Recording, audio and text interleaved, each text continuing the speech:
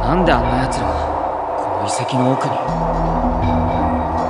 奴らはここで突然変異した変異種型構成生物だ。変異種？艦隊もここを通っていく時にかなりやられた。艦隊ってじゃあやっぱりクレーメン艦隊がここから？やったのは巣の方だけだ。下手をすると逆に奴らを本気で怒らせたかもしれない急ぐぞ